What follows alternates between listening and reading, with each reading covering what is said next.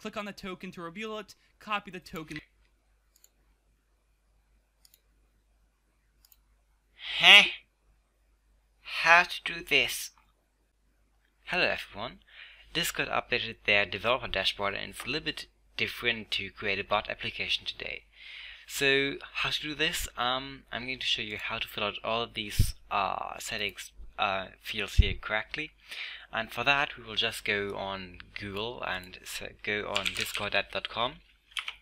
I will link everything in the description, but yeah, here is the developers page. You go to the developer portal, just going to make it a little bit bigger, and you see all your applications right now. We are going to create a new uh, application and call it demo.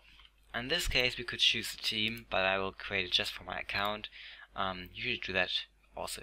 So in this case, you can already name your application. So for instance, if it's demo bot, just call it demo bot and save the changes. Uh, okay. Seems as if Discord is currently done. However, we will click on copy because this is the client ID. We don't need the secret, we just need the client ID. So we go over here and go to client ID. Click here on copy and paste and now you have your ID. You also have seen this. this is open now, or this is shown now. I will tell you later about that. Now we need the bot token. So um, this application is just for Discord. It does not have bot yet. So we click on bot. Um, we'll just click on reset here bot, and then we click add on add bot. It will ask ask if you want to do this, and yep, we want to do it. Now we have a demo bot, demo hashtag 6738.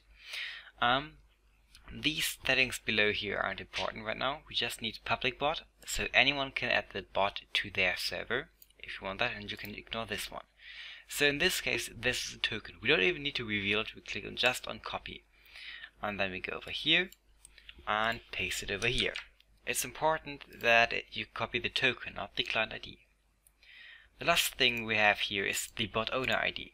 So how do we get this? Um, it's actually also quite easy. When you have Discord over here, you go in the, in the user settings, then you go to appearance, scroll down, and turn on developer mode. Now you go over there and right click on your uh, on on one of your messages, so on, on your user profile. So it's for instance here or just here. Click on copy ID. Now you have your ID copied. The ID will never change even if you change your nickname. Um, and I'll paste it over here. This is not required, this is just required if you would like to limit if specific commands just to yourself. The command tag is the prefix, in this case exclamation mark, so exclamation mark help.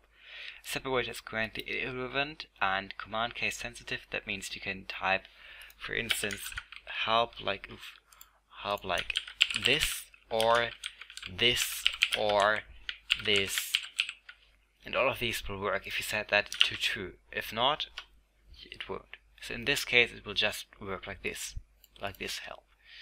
Uh, if you name the command like this. The encryption password is also not important. So that's all. To invite your bot, you just click on this link and um, that's all. Discord should open a page now where you can select the server. That's all. Perfect. Just click there and that's all. I hope you enjoyed this video and um, yeah, I see you next time. Bye.